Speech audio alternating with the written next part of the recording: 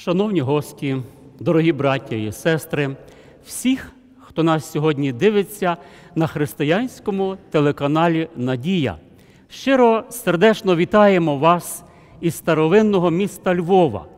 Якщо сьогодні впродовж наших біблійних роздумів у вас появлятимуться запитання, надсилайте їх за адресою, яку бачите на ваших екранах. Друзі, різні прирізні слова вихоплюються з наших вуст. Вони бувають цілком різноманітні. Це акумуляція чи матеріалізація нашої думки, наших почуттів. Здебільшого людські слова людьми не ціняться. Людські слова інколи до болю вражають глибоко в серце, деякі ранять, деякі навіть можуть вбити. Хоча інколи слово людини і скріплює, і будує, і підбадьорює, і воно творить. Іван Франко написав вірш, в якому є і такі рядки. Якби ти знав, як много важить слово, одне сердечне, теплеє слівце, глибокі рани серця, як чудово вигоює, якби ти знав оце. Ми переконуємося, як справді много важить слово, слово людини. А коли говорити про слово Бога, тут одразу ми розуміємо якісно інший рівень.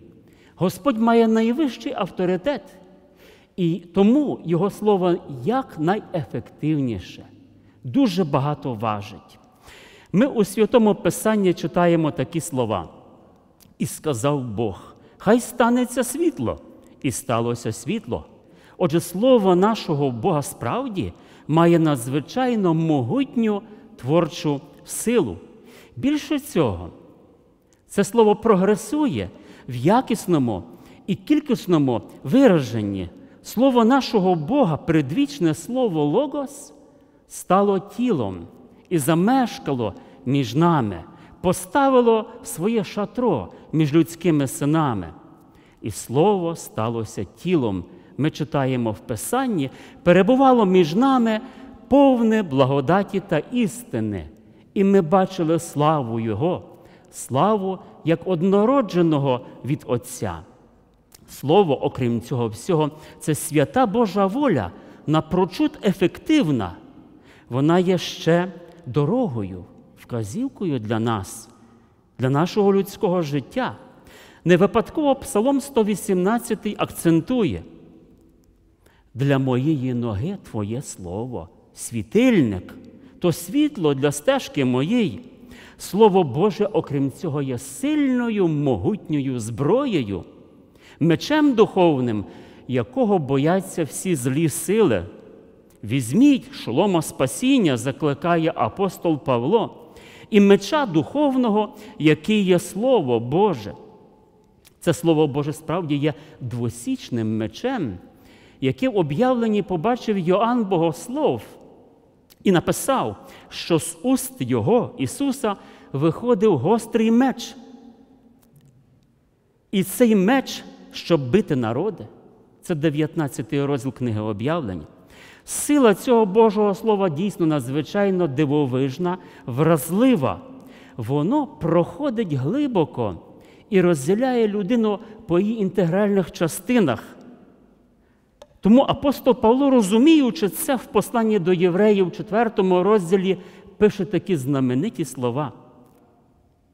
Бо Слово Боже живе і діяльне, гостріше від усякого меча обосічного, проходить воно аж до поділу духа і душі, суглобів, мозків, спосібне судити думки і наміри серця. І немає створіння, щоб сховалося перед ним все наге, все відкрите перед його очима. Більше цього, йому дамо звіт. Друзі, і це могутнє слово, як творче, так і зброю, потужне, яке має особливу специфічну силу. Наш Спаситель, будучи сам втіленим словом, дарує людині. дарує спершу своїм апостолам, а потім і нам. Напередодні своїх страждань Він у молитві до Отця. Ці слова записані в 17 розділі Євангелії від Йоанна, коли вони, відбувши таємно оцю вечерю разом з учнями, прямували вже за потік кедрон, то Ісус молився. Я ім'я Твоє, святий Отче, виявив людям, що мені ти з освіту їх дав. Твоїми були вони, і ти дав їх мені. Вони зберегли Твоє Слово. Тепер пізнали вони, що все те, що дав ти мені, від тебе походить, бо слова, що дав ти мені, я їм передав, і вони прийняли. І вони зрозуміли правдиво, що я вийшов від тебе, і повірили, що ти мене послав. І справді, дорогі друзі, не маючи нічого кращого дати, подарувати своїм апостолам і нам, Ісус в своїй любові і мудрості вирішив подарувати смертній людині символ безсмертя, шлях безсмертя, слово своє. Немає справді нічого сильнішого і потрібнішого, ніж цей дар, Його святе Слово. Тому сьогодні, роздумуючи над темою освячені істиною, ми будемо з'ясовувати, а як же сприйняли це Слово Боже учні Христові? Чи справді вони вдячно прийняли? Яка реакція світу на це слово? І в прикладному розумінні і наше, наше ставлення, наше відношення до цього потужного Божого Слова. Отже, учні, за словами Ісуса, зрозуміли Слово Христове. Оцей грецький термін, який тут вживається, зрозуміли, означали пізнали і усвідомили ваготу, силу цього слова. Звичайні смертні люди. Учні Христові усвідомили і пізнали, що саме? Що Ісус посланий Отцем. І це слово почало робити свою роботу в учнів. Воно їх змінювало, вони збагнули. Наступний етап чи позиція учні повірили в це слово. Повірили, що це слово має особливе походження від Господа Бога. Каже Ісус. І вони прийняли, зрозуміли правдиво, що я вийшов від тебе, і повірили, що ти мене послав. Наступний момент учні з вдячністю прийняли це Боже Слово. Ісус каже, і вони прийняли, і вони зрозуміли правдиво. А потім згодом один з цих учнів, апостол Йоанн, напише знамениті слова. А всім, що його прийняли, їм дало владу дітьми Божими стати. Прийняті слова вони прийняли вдячно. А що означає прийняти слово? Задумується сучасна людина. А як на вас, на вашу думку, що це означає? Мабуть, прийняти слово це повірити у Його божественність, у Його божественне походження, а через це в Його особливу силу. Воно має здатність змінювати людину і її життя, її світогляд, навіть навколишній світ. Окрім цього, як четверту позицію можемо побачити, що учні зберегли це Слово Боже. Ісус каже, і вони зберегли Слово Твоє. Що значить зберегти Слово Боже? Це означає дотримуватись отих всіх Божих заповідей, які ми знаємо, як керівництво в своєму житті. Апостол Павло в посланні до Галатів в 5 розділі 14 тексті пише: бо увесь закон в одному слові міститься люби ближнього свого як себе самого. Друзі, що означає берегти слово, вдячно його берегти як найцінніший скарб? Це прийняти в саме своє серце, в глибину своїх принципів, его. Оце воплочене Боже Слово самого Ісуса як втілене Боже Слово з його принципами, з його спасенною місією, з його чарівною особою Божою, як один із Троїці. Це означає прийняти Ісуса як хліб життя, ті слова, що Він говорив, ті речі, яких Він навчав. Слова, що я їх вам говорив, каже Ісус. це дух і життя. Так високо цінує Ісус своє Слово. А ми? Тих, хто береже Боже Слово, Христос зве щасливими, блаженними. Він каже, блаженні ті, хто слухає Слово Боже і Його береже. Як було з учнями Христовими? Звичайно, не всі і не одразу. Але переважній більшості вони прийняли вірою це слово, зберегли слово, і таким чином вони розділили начебто і долю Ісусову. Його місію провадили далі в світі. Їх і чекала доля, схожа до Ісуса, доля страждальця. Ісус так їх попереджував, Слово моє не слухали. Вас гонили, бо мене гонять. Мене гонили і вас гонитимуть. Але в кінцевому результаті світ буде ваше слово теж слухати, бо й моє слово дехто приймає. Володіння даром Христовим, оцим Божим Словом, почало змінювати учнів, викликало якесь гостре протистояння цього світу, який бачив, що ці люди говорять і живуть як не від світу цього. Чи це розумів Ісус? Так. Він розумів цю істину, тому й казав, але світ їх зненавидів, бо вони не від світу, як і я не від світу. Коли б вони були від світу, світ би їх прийняв, акцептував. А чому так? Тому що принципи, закони, друзі, світу зовсім протилежні до законів Христових, до законів Його Слова.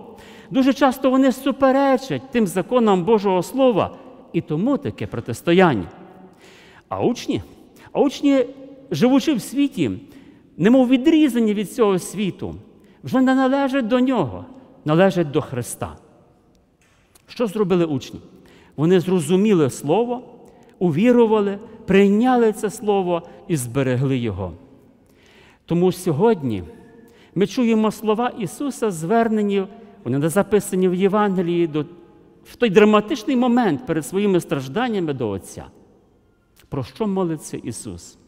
Отче святий, освяти ти їх істиною. Твоє Слово це істина, правда. Тому, будь ласка, освяти цією істиною їх. Потрібне освячення навіть апостолам, навіть тим, які близько з Ісуса, чули і бачили Його, навіть їм. А нам, нам і поготів, своїми людськими силами, кволими, слабкими, ми не, можли, не можемо, навіть маючи Біблію, навіть маючи цей Божий інструментарій, я б назвав, ми не можемо освячуватися. Це процес, це етап впродовж цілого нашого життя. Я б сказав, це такий депозит, який вислужив сам Ісус, якою ж ціною були освячені учні. Скільки це коштувало Господу? Ви ставили коли-небудь собі таке запитання? Ісус каже: звернемо на це свої думки. А за них я посвячую в жертву самого себе, щоб освячені правдою стали вони. Ісус з любові до людей повністю присвятив себе цій місії, яку повинен був звершити. Важка місія, страшна місія, невиносима для будь-кого. Перед ним був хрест. Тому, принісши своє життя як викуп за багатьох заради спасіння людства, що робить Ісус, Він відкриває дивовижну потугу силу освячення в Слові. Хто може освятити? Лише всемогутній Бог. І тому Він це робить. Апостол Павло, збагнувши це, пише до євреїв, 10 главі, 10 текстом. У цій волі ми освячені жертвоприношенням Ісуса Христа один єдиний раз. Жертвоприношенням ми освячені. Христос справді жертвується. Що нам, людям? Бо й до нас дійшов цей скарб Ісусового Слова, що нам, людям 21 століття, львів'янам і не тільки робити з цим дорогоцінним скарбом, так як і апостоли, збагнути, прийняти, повірити. І це ще не все. ділитися. Саме ділитися Словом Божим унікальна можливість Божої любові. Також специфіка Слова Божого, чим більше ми ним ділимося, воно немов примножується, воно немов розмножується. Отакі то закони Божого Слова. Ділячись, ми обдаровуємо цим Божим Словом інших людей, які слухають це Боже Слово. Ми резонно запитуємо себе, чи ми можемо зачисляти себе до людей, які освячені істиною, як і апостоли. А які ж ознаки цієї освяченості істиною? Освячені істинним Словом Божим учні, вони були об'єднані любов'ю. Каже Ісус: Я ім'я Твоє об'явив і об'являтиму, щоб любов, що нею ти полюбив, була і у них. Суть любові така, що неї також слід ділитися. Що ми зараз спостерігаємо в нашому секулярному світі, так дуже інформаційно інтегральному і так дуже збагаченого різного роду інформацією. Ми бачимо, що світ гине від нестачі Євангелія. Невже він не знає? Знає. Невже в нього немає? Має. І книги Біблії, і все інше. Інтерпретація, правда, різноманітна, та не читає, та не сприйняє, не сприймає Слово Боже, не втілює його в життя, не цінить і тому Слово Боже, не маючи цього благоприємного ґрунту, не проростає, не дає плодів. Сьогодні люди просто не отримують Божі благословення через це, що недооцінюють цей скарб Божого Слова. Розповідають одну історію про подорожнього, який в пустелі знемагав від спеки і спраги, палючого сонця. Десь здалека він побачив оазис, пальми, вода, подумав він, але раптом подумав інше. Інша думка прийшла міраж, я вже таке бачив, і знесилено опустився гарячий пісок. Пройшло декілька днів. Йшли цією дорогою два бедуїни, натрапили на мертвого подорожнього, і один з них каже: Дивно, так близько до води, і він помер. Справді, додав інший, так близько до мети міг спастися, врятуватися, але загинув. Яка ж мораль для нас, людей, які це слухають? Можна бути близько води, але померти від спраги. Можна мати в себе вдома на столі або на полицях святе письмо і бути близько Слова Божого, але загинути навіки можна, але не годиться нам втрачати таке дорогоцінне спасіння. А друга ознака учнів Христових це єдність. Пригадуєте, як палко перед своїми стражданнями Ісус молиться. Це дуже лягло на його серце. Це було предметом Його молитви. І молиться до Отця. Отче святий, щоб всі були одне, як ти в мені, а я в тобі, щоб вони були одне.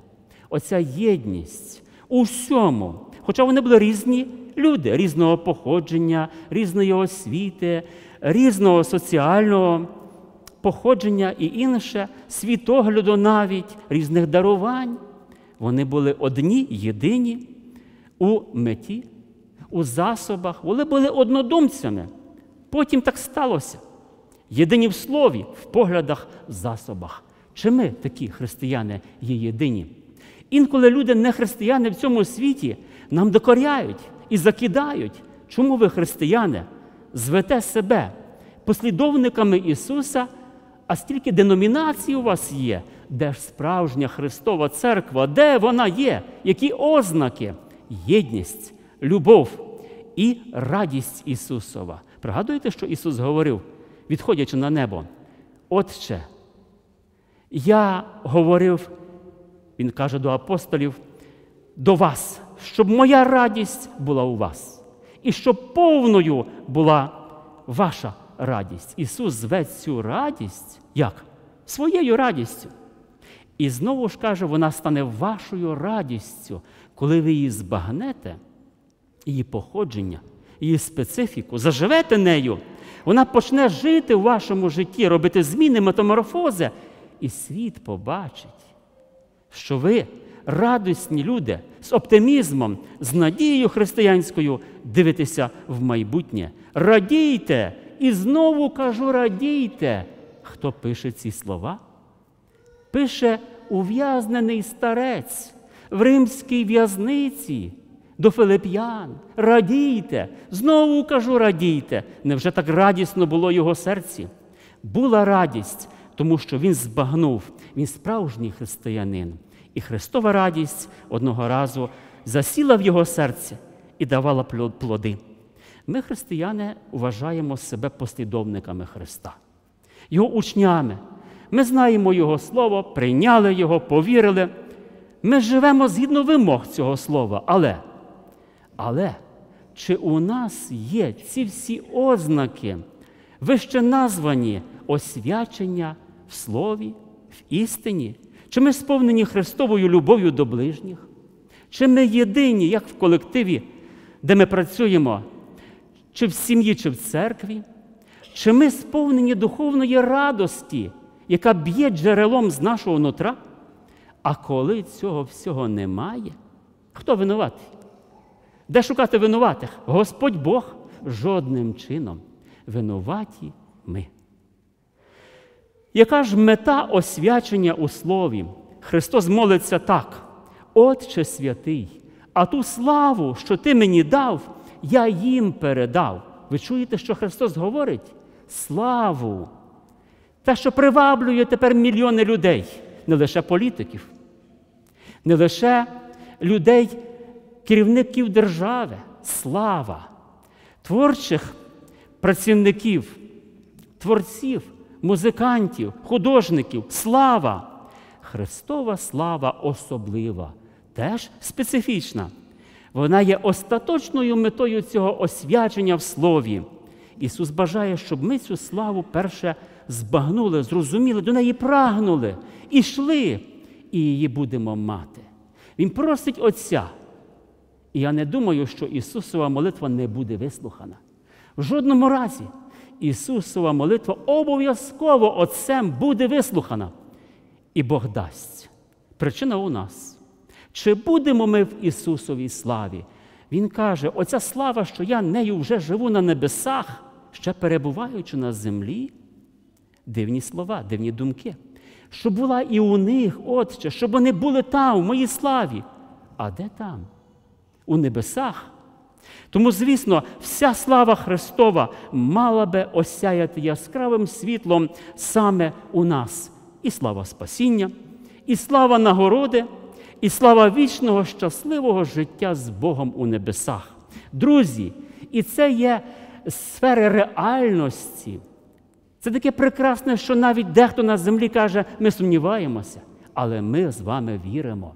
Ми знаємо, що це прорекли правдиві Ісусові уста. Його серце сказало, а Він не обманює. Деякі люди, інколи і самі християни, вони кажуть, що ця Христова радість, слава і таке інше нас спіткає лише після нашої смерті, вже на небесах. Ні, вони помиляються. Вони помиляються. Тому тут на землі справжній християнин може зазнати радості спілкування з Богом. Вже ця слава має променіювати, світитися з Його обличчя.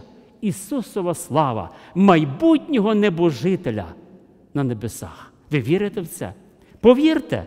Ісус має для вас прекрасні можливості і дає найкращі шанси. Апостол Йоанн у видінні цю славу описує так. В об'явленні Йоанна Богослова, в 21 главі. Оце, оселя Бога з людьми, Він житиме з ними, вони будуть Його народом, і сам Бог буде з ними. Перевіряємо сьогодні. Дорогі християни, наше особисте життя.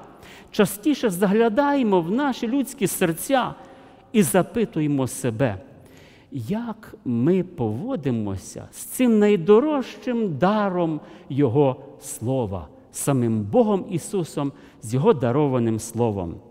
А Господь Ісус нехай рясно благословить наші найкращі починання, думки і змагання. Амінь.